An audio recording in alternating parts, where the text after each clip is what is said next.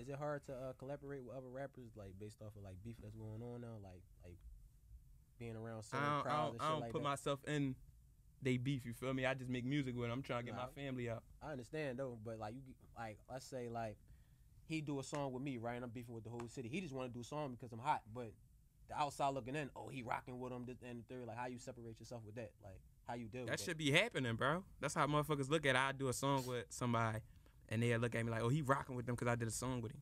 Feel me? That's corny. Yeah, That's, they- that's niggas be- so niggas be corny, acting like That shit gay to me, bro. Yeah, that's Like I don't care who you do a song with. You feel me? You can make a song with anybody, bro. I ain't gonna look at you I no don't no know. type of I don't know, cuz that he dissing on. That shit. Yeah, we just we just we just connecting You with know, it's a fans. whole Like different Yeah. time now though. Like motherfuckers Yeah. look at it like, Like- oh yeah, he rocking with him or he dicking him because he being with like, no, I just really like his music. Like, Yeah. just no, wanna that do shit's so crazy. him. Like back in the day, back in the day, it was like you you rapping to get out. I Yeah. feel like now that now